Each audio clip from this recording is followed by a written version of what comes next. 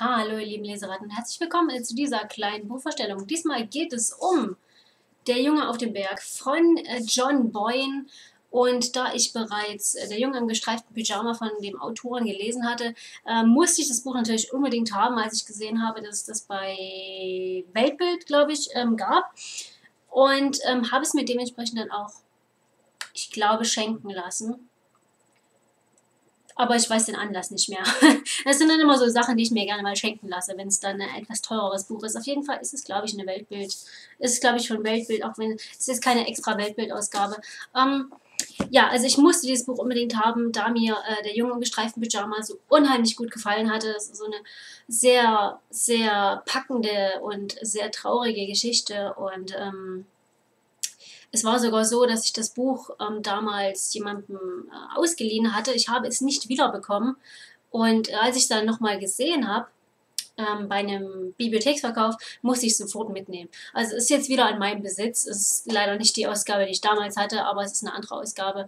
Und es war mir eigentlich egal, wie das Cover aussieht. Ich wollte einfach nur dieses Buch wieder in meinem Regal stehen haben. Jetzt ist es auch da, ich weiß aber nicht wo. Also ich weiß, es ist da, aber ich weiß nicht, wo es steht. Ich habe vorhin extra geguckt, aber irgendwie habe ich es nicht gefunden. Aber wahrscheinlich steht es in, in der Reihe hinten. Das ist egal. Es, mir reicht das Gefühl, dass es irgendwo dort sein müsste. Und ähm, ja, deswegen musste ich unbedingt äh, dieses Buch dann auch ähm, haben, ganz einfach. Und ich hatte es auch gleich, als es rauskam, sozusagen geschenkt bekommen. Ähm, aber das ist jetzt schon über ein Jahr oder zwei Jahre her. Ich weiß manchmal, aus welchem Jahr das ist, werden wir nachher feststellen können. Ähm, ich habe es also bekommen, als es gerade neu draußen war, aber da der Buchstabel da schon abgeschlossen war und dann war noch der alte Buchstabel, ist es jetzt natürlich etwas später. So, ähm, in Der Junge auf dem Berg geht es um Pierrot. Pierrot äh, wohnt in Paris und hat gerade ähm, seine Eltern verloren. Er würde sehr gern ähm, zu seinem besten Freund ziehen, ähm, der, glaube ich, im selben Haus wie er wohnt. Aber äh, das klappt nicht so richtig. Ähm, weil die Familie jüdisch ist und äh, es zu dem Zeitpunkt 1936 ähm, schon langsam losging mit dem Antisemitismus und äh, außerdem die, äh, die Mutter von seinem, von seinem besten Freund auch nicht so viel Geld hatte. Also sie hatte jetzt nicht wirklich ähm, äh, ja, Geld, um, um zwei Kinder durchzufüttern und ähm, es hat ja auch sehr leid getan, aber Pierrot ist deswegen dann in ein Waisenhaus gekommen, wo es ihm eigentlich auch ganz gut gefallen hat. Er hat dort Freunde gefunden. Und ähm, ja, plötzlich bekommt er dann einen Brief äh, von einer Tante, hm, die sein Vater äh, zwar mal erwähnt hat, aber äh, er wusste nicht, wo, wo die Tante überhaupt, ähm, wo die ist und, und wie man die erreichen kann. Es gab keine Adresse und gar nichts. Also er war der festen Überzeugung, er hat keine Familie mehr irgendwo ähm, bis sich dann diese Tante gemeldet hat und sie lädt ihn ein, bei ihr, äh, bei ihr zu wohnen. Ähm, deswegen packt er dann seine Koffer äh, und macht sich auf den Weg zu der Tante, äh, die an einem ganz besonderen Ort wohnt. Äh, sie ist nämlich die Haushälterin oder eine der Haushälterinnen ähm, am Obersalzberg bei dem Herrn Hitler. Und äh, ja, natürlich wird Pierrot da in eine Situation hineingeworfen, mit der er jetzt nicht unbedingt gerechnet hat. Ähm, und es ist sehr, sehr schwierig. Also er zieht auf den Obersalzberg. Äh, auf dem Weg dahin trifft er ein paar Personen, die der Leser von Der Junge im gestreiften Pyjama schon kannte. Äh, ich werde nicht erzählen, welche Personen das sind, aber äh, es hat mir sehr das Herz gebrochen beim Lesen, bin ich ganz ehrlich. Und ja, wir folgen Pierrot als Leser auf den Obersalzberg und versuchen uns irgendwie mit der Situation ähm, anzufreunden, dass er dort ist und, und dann die ganzen Leute dort kennenlernt ähm, und dann irgendwann natürlich auch Hitler kennenlernt. Ähm, und es ist eine sehr, sehr merkwürdige Situation. Ich glaube, für den Leser ist die Situation merkwürdiger als für, für Pierrot, äh, der dann später sogar seinen Namen ablegen muss, ähm, um Deutscher zu werden. Äh, und er darf dann noch nicht mehr Französisch reden. Und ähm, es ist ein sehr merkwürdiges Buch. So. Äh, ich weiß auch nicht so richtig. Ich habe vorhin überlegt, wie ich es eigentlich fand, äh, weil mir noch nicht so richtig die Worte dafür eingefallen sind, ähm, wie ich dieses Buch jetzt eigentlich äh, bewerten würde. Ist es positiv oder ist es negativ? weil es äh, so sehr anders ist als der Junge im gestreiften Pyjama. Ich hätte jetzt eher erwartet, dass ähm, es eine sehr rührselige Geschichte ist, weil ich das so aus dem anderen Buch kannte. Äh, es war jetzt aber nun ganz, ganz anders, als ich gedacht hätte, ähm, aber auf eine andere Art und Weise sehr, sehr spannend. Also es geht hier um ähm, Manipulation, um, um ähm, ja, die Einflussnahme Hitlers auf Pierrot direkt und die Jugend allgemein. Ähm, ja, und wenn, während man dann so liest, ne, vergehen dann natürlich auch einige Jahre. Ähm, das Buch ist in drei Teile unterteilt. Das erste spielt 1936, äh, das, der zweite Teil spielt dann 1937 bis 40 und der dritte Teil dann äh, 1940 bis 45.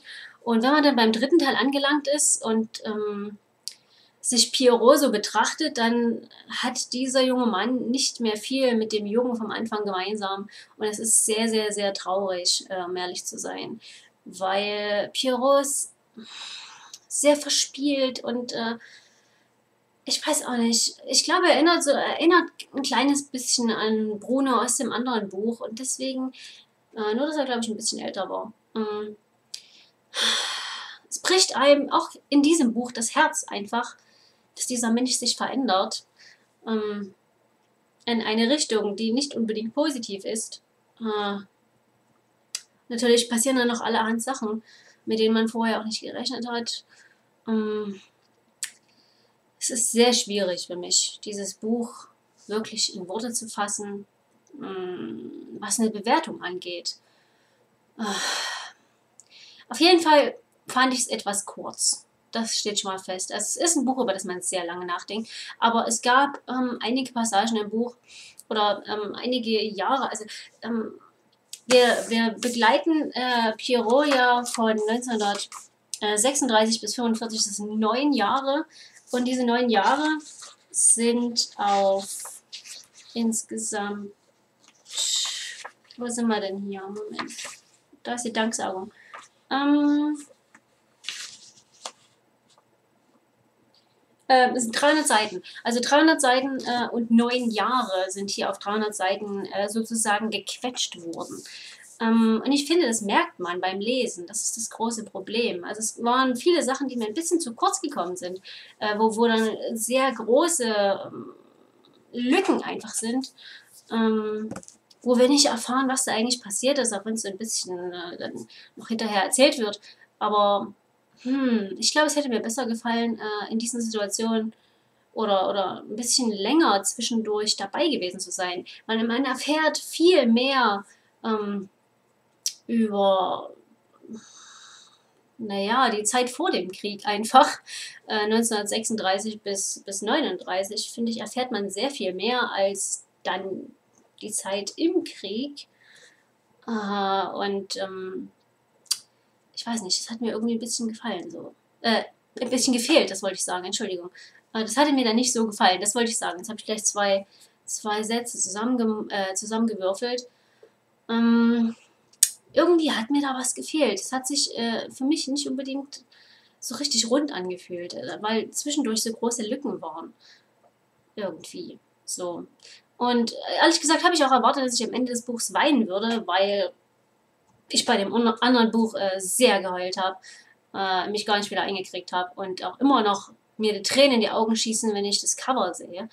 Ähm, und das ist bei dem Buch gar nicht so. Wenn ich das Buch, wenn ich das Buch angucke, dann kriege ich ein ganz ungutes Gefühl. Ich weiß nicht, ob das äh, Absicht ist. Wahrscheinlich ist es Absicht, weil wie gesagt, geht es um, um, Manipulation und äh, Machtmissbrauch, solche Sachen. Es ist ein anderes Genre. Ähm, aber ich weiß nicht so richtig. Irgendwas, irgendwas hat mir gefehlt. So. Irgendwas hat mir gefehlt, ähm, was mir bei dem anderen Buch nicht gefehlt hat.